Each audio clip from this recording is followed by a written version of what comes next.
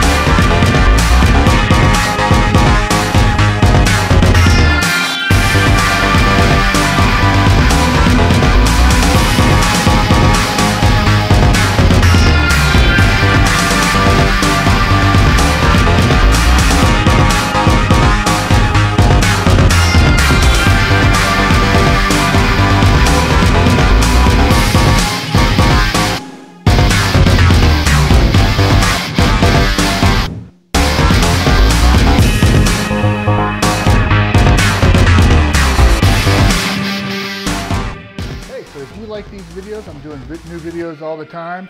So you can get the ale meals right here, or new videos right down here, or subscribe right there. Thanks a lot, guys.